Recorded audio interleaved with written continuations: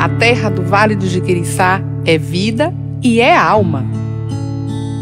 Ela alimenta, sustenta e constitui mulheres e homens deste território.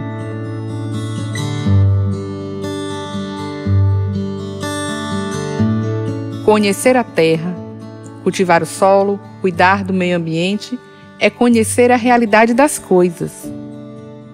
É o saber de um povo que interpreta e valoriza seu território, sua cultura, suas linguagens, sua autonomia e sua comunidade.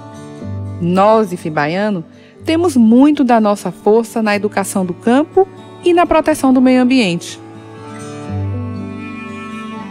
A agroecologia, ela estuda todas essas relações, estuda a questão do solo, estuda a questão das plantas, dos animais e como todos esses, é, esses fatores, eles podem estar convivendo harmoniosamente no mesmo ambiente, né?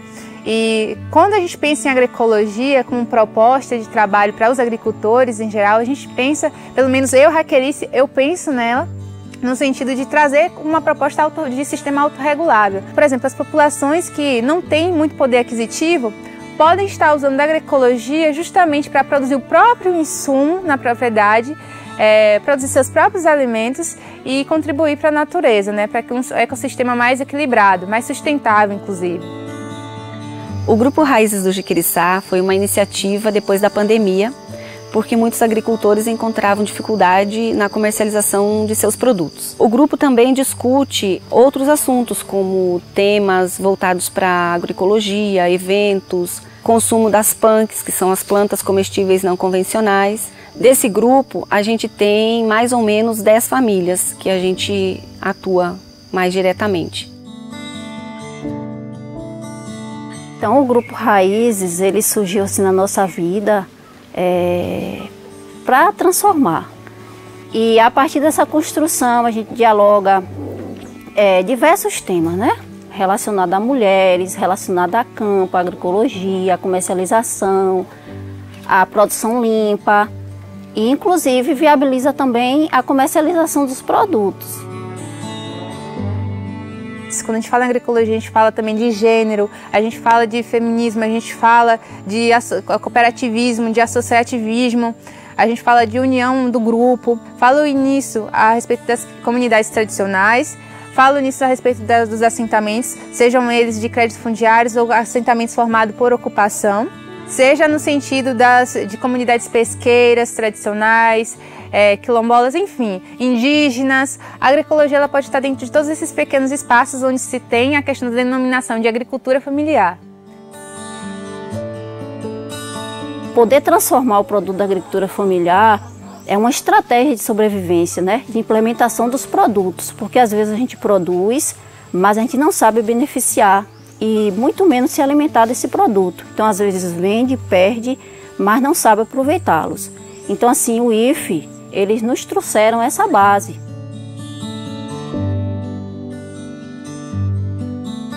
Uma coisa interessante desse grupo é a certificação orgânica. Alguns produtores têm pleiteado.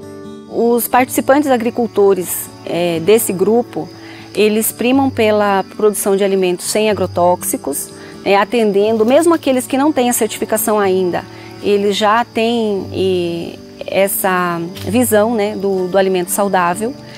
E o objetivo é a gente divulgar isso e, e, isso ser algo mais comum, né? Porque às vezes a gente, eh, quando vai à feira e procura por um produto orgânico, as pessoas olham para a gente com cara de espanto, como, como se a gente tivesse eh, querendo um produto que não existe. E a gente sabe que tem pessoas produzindo e alimento com qualidade e saudáveis também.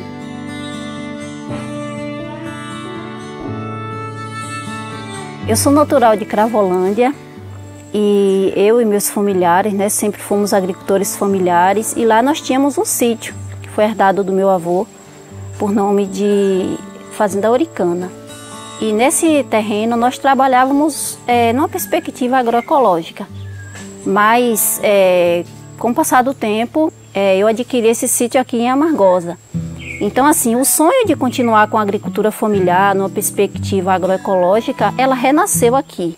Ela ressurgiu aqui. Portanto, o nome Renascer, né? Sítio Renascer. E é, agora em 2021 nós fomos é, avaliados aptos para o selo orgânico. Tem uma palavra que eu acho que resume bem é, a interação do Instituto, que é a palavra articulação, que o papel dela é, é juntar.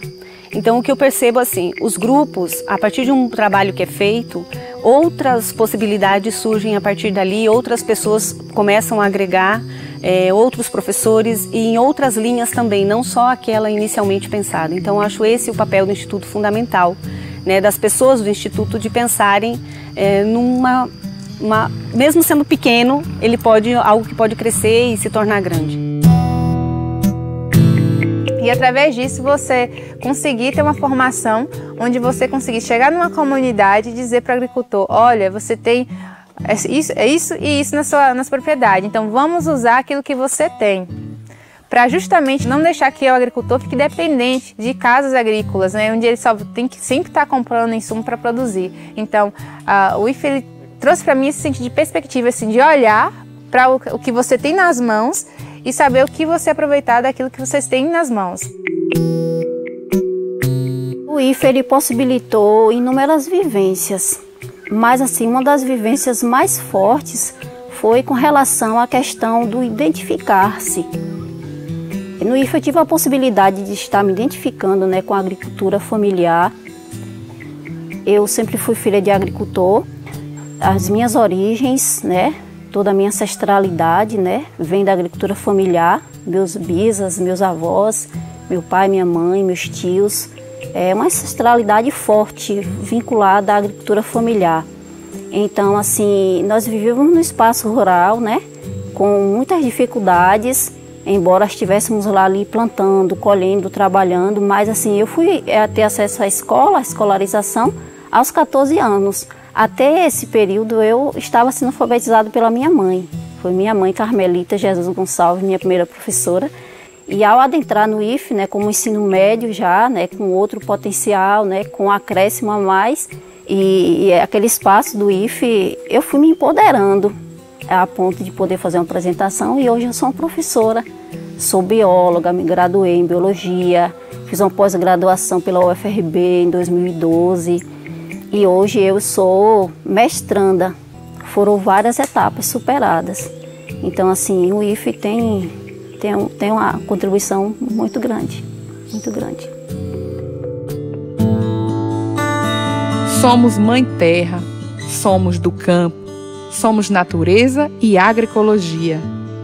Somos a educação que reivindica um conhecimento pleno, aquele que une o saber científico às experiências da terra e à identidade de um povo.